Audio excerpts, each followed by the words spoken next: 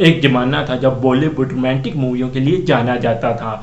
हर दूसरी मूवी में मासूम सा प्यार देखने को मिल जाता था, पर वक्त के साथ मूवियों में से रोमांस धुंधला होता चला गया और इस वक्त प्यार के नाम पर हमें आजकल लव जैसी मूवी देखने को मिलती है। धुएँ में उजाले की किरण बनकर आई 2018 में 96 मूवी और इसने बता दिया कि इंडियन फ़िल्म इंडस्ट्री में अच्छी रोमांटिक मूवी बन सकती है। इस मूवी में आपको प्यार के नाम पर धोखा फ्रेप देखने को नहीं मिलेगा, पर सच्चा प्यार देखने को मिलेगा, जो कि फ़िल्म खत्म होने के बाद एक एहसास बनकर आपके साथ रहेगा। आपको इस मूवी में स्कूल का वही इनोसेंट प्यार देखने को मिलेगा, जिसका कभी आपने भी एहसास किया होगा।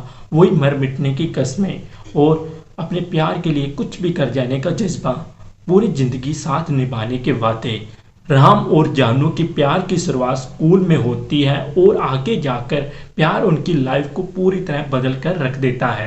1990-60 के बाद पूरे 22 साल बाद 2018 में राम और जानू मिलते हैं और एक ऐसे रिलेशनशिप की शुरुआत होती है जिसका कोई नाम नहीं है और सोसाइटी की नज़रों में सही या गलत के स्केल पर मापना थोड़ा मुश्किल है। लेकिन फीलिंग्स का एक ऐसा तूफ़ान आएगा जिसमें आपका दिमाग, दिल आसमान में उड़ने लग जाएगा। से पूछो कि प्यार की आखिरी मंजिल क्या है? तो कुछ लोग कहेंगे कि रिलेशनशिप प्यार की आखिरी मंजिल है और कुछ कहेंगे शादी प्यार की आखिरी मंजिल है। पर हम सब गलत हैं।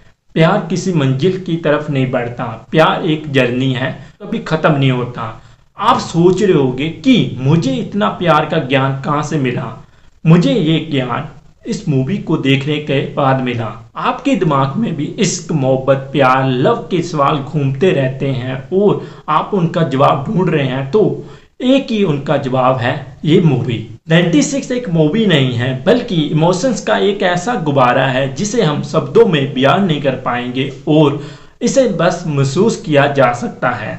इस मूवी का हीरो हमें ना ही हीरोपंथी करते दिखेगा, ना ही वन लाइनर बोलते दिखेगा। हमें बचपन से आदत पड़ चुकी है तिरंगे से प्यार वाली मूवी देखने की। जहाँ तक रही करेक्टर्स की बात, जब हम मूवी में उनको देखते हैं तो ऐसा एहसास होता है कि असली ज़िंदगी में ही प्यार का कोई किस्सा बुना जा रहा है। इस मूवी की सबसे बड़ी खासियत है कि इस मूवी के हीरो और हीरोइन कोई भी फालतू सा डायलॉग बोलते नहीं हैं। बल्कि सिंपल सी कन्वर्सेशन करते हैं और अपनी बातों में ऐसा बाँध लेते हैं कि आप उन दोनों में से निकलने का रास्ता भूल जाओगे और तब समझ लेना कि आप एक मास्टरपीस का हिस्सा बन चुके हो।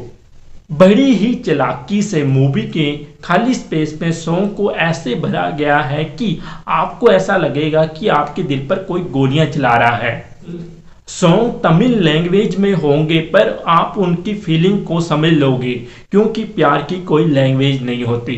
मूवी देखते वक्त आपका दिल दिमाग पर हावी होने लगेगा और आपको बाहरी दुनिया से प्यार हो जाएगा। हम शब्दों में कहूँ तो मूवी को आप देखोगे नहीं, महसूस करोगे और आपकी ज़िंदगी का एक अहम हिस्सा बन जाएगी ये मूवी। बात करते हैं विजय सतुपेती और त्रिशा कृष्णा की। इन दोनों के बगैर ना ही ये वीडियो कंप्लीट होती है, ना ही ये मूवी। विजय सतुपति और कृष्णा की केमिस्ट्री ने ही इस मूवी को इतना अच्छा बनाया है।